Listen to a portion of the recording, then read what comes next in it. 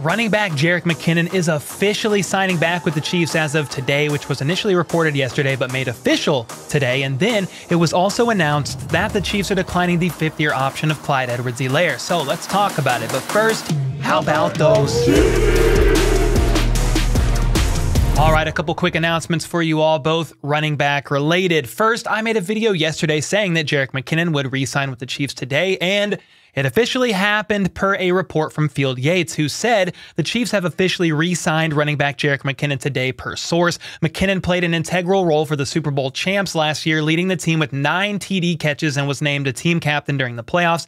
And then it was officially, officially made official when the Chiefs Twitter page themselves shared the announcement. So it's a done deal. And I would imagine this is a one year contract worth somewhere around a million dollars, maybe a bit more 1.2, 1.5, or maybe they even up it a little bit more with incentives. Like if McKinnon stays healthy all year and contributes a certain amount of production, he'll get even more. I mean, he's worth a lot. So We'll see what the contract ends up being. As of when I'm recording this video, there are no contract details. I mean, all of his previous one year deals that he's done over the past few years has been around a million dollars, give or take a hundred thousand here or there. So that's just the best guess, um, but he's worth it for sure. This is a great thing for the running back room to have the soon to be 31 year old veteran. He literally turns 31 tomorrow, May 3rd, back in Kansas City for another season. And then just prior to the McKinnon officially re signing with the Chiefs announcement, it was officially announced that the Chiefs will be declining the fifth year option of Clyde Edwards Helaire, which was first reported by Matt Derrick of Chiefs Digest. And that is a surprise to absolutely nobody. We all knew that the Chiefs were not going to pick up the fifth year option for CEH, mainly because his production thus far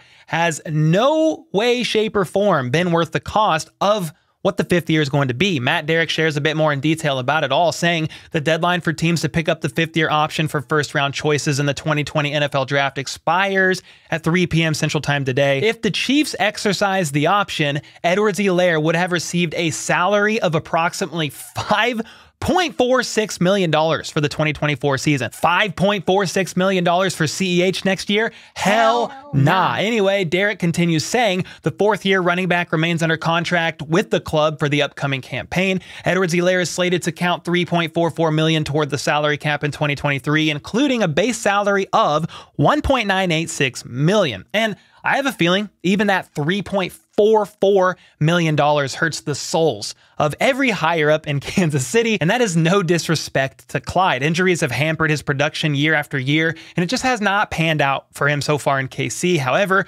Brett Veach said he's been working hard this offseason and hopes that he has a great season this year and stays healthy. And so do I. If he does indeed walk in free agency next year, I hope he gets a favorable deal from another team, and I wish him the best. The question now is, though, will CEH even remain on the roster this season? Some think he could be packaged in a trade or traded for some late round pick before the trade deadline, but I have no real solid answer. I think the weirdest thing of it all is that CEH chose to miss the Super Bowl parade for a fashion show in New York.